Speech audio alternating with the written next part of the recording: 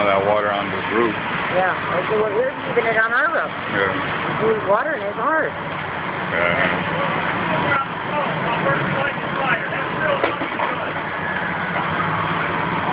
Right. What do you do? I mean, the guy's doing nothing.